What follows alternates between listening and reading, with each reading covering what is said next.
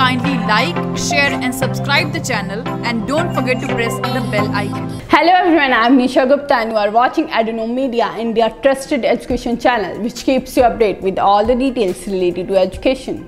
Goa Health Minister has said Public Health Act is outdated. But before we start the news, we want to tell you about the Edunom Media quiz. Edunom Media is going to announce a lucky winner on February 19. So keep participating in Edunom Media quiz. Maybe you are the lucky one to get a prize. Coming to the news. Yes, the Goa Health Minister said the Public Health Act is outdated. On Friday, Goa Health Minister Vishwajit Rane said that the Public Health Act was outdated and needs to be amended to keep strict check on hotels and other eateries.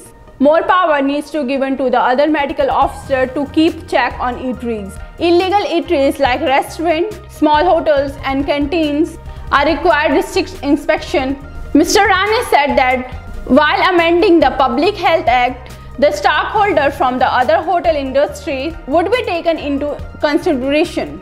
The minister's statement come in the wake of recent raid on certain restaurants and canteens which were found operating in unhygienic condition, cancellation of their license by the Food and Drugs authorities.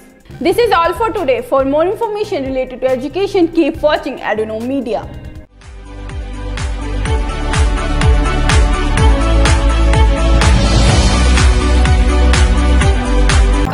Like, share and subscribe the channel and don't forget to press the bell icon.